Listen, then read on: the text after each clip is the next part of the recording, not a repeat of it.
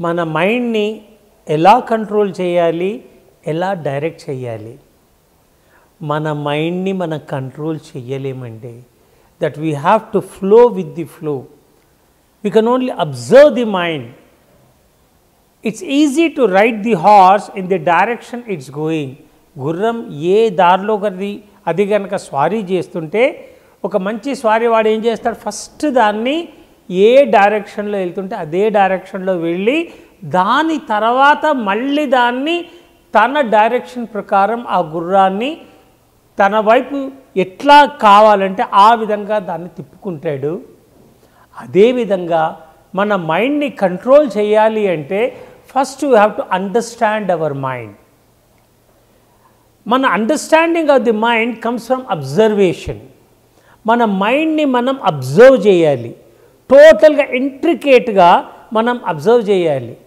దాన్ని ఎలా కంట్రోల్లో పెట్టాలి అంటే ఒక గుర్రానికి గనక ఒక కళ్ళం గనక లేకపోయినట్టయితే దాని ఇష్టం వచ్చిన తీరుగా వెళ్ళిపోతుంది.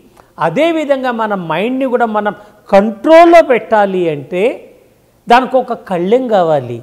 ఆ కళ్ళెం ఏది అంటే మన యొక్క గోల్ మనం ఏం చెయ్యదలుచుకున్నాము ఏం కాదలుచుకున్నాము ఏం సాధించదలుచుకున్నాము మన యొక్క మైండ్ లోపల ఏం నడుస్తుంది నా లైఫ్ యొక్క పర్పస్ ఏంటి నేను సాధించాలనుకున్నవన్నీ సాధించాలి నేను first one year five years ten years నేను ఏం కావాలనుకుంటున్నాను ఒక స్టూడెంట్ కనుక అయినట్టయితే మీరు అల్టిమేట్గా ఒక వన్ ఇయర్ తర్వాత ఫైవ్ ఇయర్స్ తర్వాత టెన్ ఇయర్స్ తర్వాత ట్వంటీ ఇయర్స్ తర్వాత మీరు ఏం కాదలుచుకున్నారో అది మీరు గనక ఒక నిర్దిష్టమైన ప్రణాళిక ప్రకారం మీరు ఒక గోల్ సెట్టింగ్ కనుక చేసుకున్నట్టయితే అప్పుడు ఏమవుతుందంటే మీకు మీకు ఒక పర్పస్ ఏర్పడుతుంది.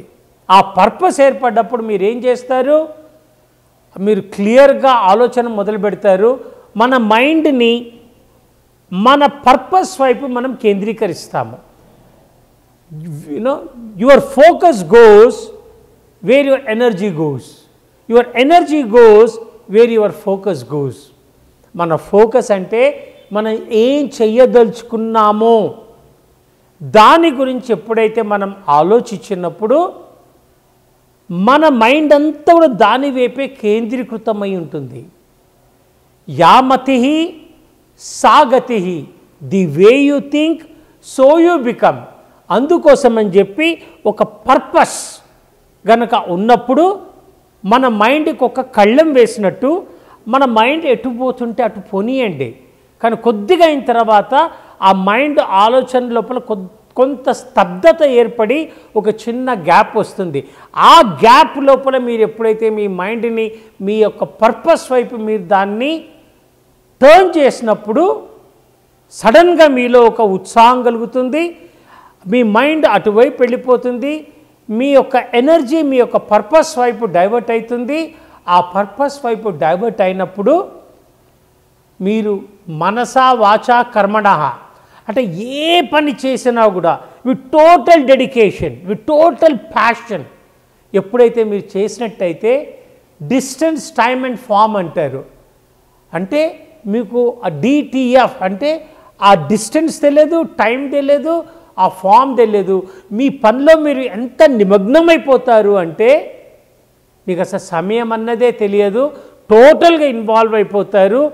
అప్పుడు మీ యొక్క ఫోకస్ అల్లా మీ పనిలో పెట్టినప్పుడు అప్పుడు మీలో ఒక కొత్త రకమైనటువంటి ఆలోచనలు వస్తాయి. కొత్త రకమైనటువంటి ఉత్సాహం వస్తుంది. మీ మైండ్ని మీరు కంట్రోల్ చేయగలుగుతారు. కానీ మీరు మొదలే గనక మైండ్ని గనక మీరు పట్టుకొని ఉన్నట్టయితే అది వినదు. ఎట్లయితే ఒక గుర్రం గనక ఏదైతే మాట వినదో అదేవిధంగా మన మైండ్ని కూడా that we should be able to understand దానికి we should understand our mind and observe our mind for example మీరు ఒక పేపర్ అండ్ పెన్ తీసుకొని మీరు ఏం చేయదలుచుకున్నారు? సడన్గా ఆ పెన్ అండ్ పేపర్ తీసుకొని మీరు రాస్తున్నప్పుడు ఏమవుతుంది? మీ మైండ్ లోపల ఏం ఆలోచనలు నడుస్తున్నాయి? మీ మైండ్ లోపల అబ్బా నాకు చేయాలనిపించట్లేదు అది రాయండి. అబ్బా ఇన్ని కష్టాలు ఉన్నాయా అవన్నీ రాయండి.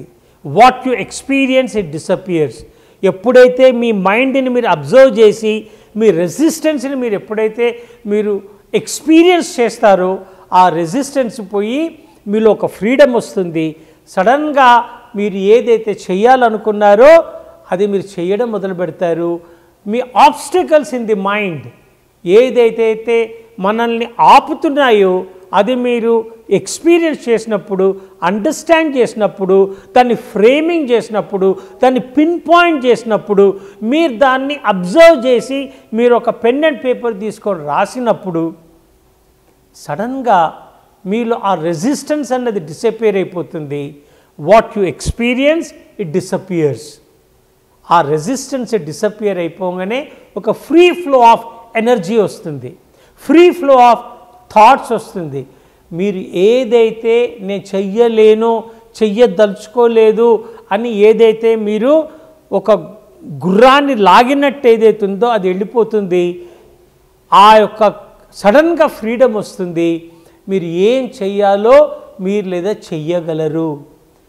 దీని దే- ఇందులో ఇంకొక చిన్న టెక్నిక్ ఉందండి. ఏదైనా చాలా పెద్ద పని కనుక ఉన్నట్టయితే అబ్బా ఇంత పెద్ద పనా? నేను చెయ్యలేను అని చెప్పి మైండ్ లేదా దాన్ని ఆపుతుంది రెసిస్ట్ చేస్తుంది.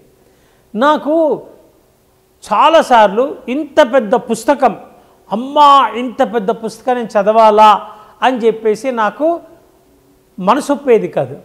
నేను అనుకున్నాను ఓన్లీ ఫర్ నైన్ మినిట్స్ తొమ్మిది నిమిషాల మట్టుకే చదువుతాను అని చెప్పి ఆ తొమ్మిది నిమిషాల కోసం చదివి ఇంకా చదవాలనిపించినా కూడా పక్కకు పెట్టేసేవాడిని.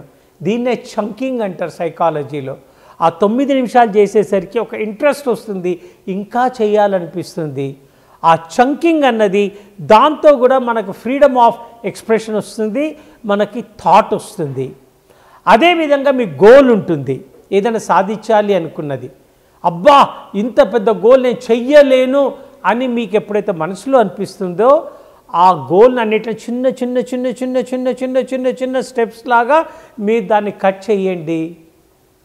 ఆ చిన్న స్టెప్ని మీరు ఎప్పుడైతే ఒకటి కంప్లీట్ చేస్తే ఇంకోటి ఇంకోటి కంప్లీట్ చేస్తే ఇంకోటి ఇంకోటి కంప్లీట్ చేస్తే ఇంకోటి ఒక పెద్ద నిచ్చెన చిన్న చిన్న అడుగులు వేస్తూ పోతుంటే మనం రీచ్ అయిపోతాము.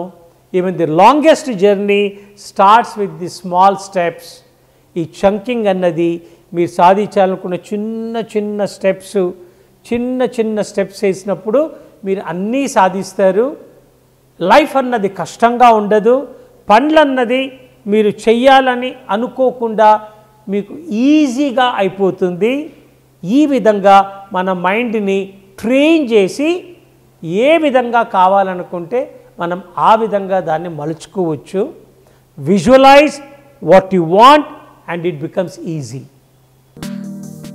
అద్భుతమైన ఆరోగ్య వీడియోల కోసం త్రీ టీవీ హెల్త్ ఛానల్ని లైక్ చేయండి కామెంట్ చేయండి సబ్స్క్రైబ్ చేయండి అలాగే షేర్ చేయండి.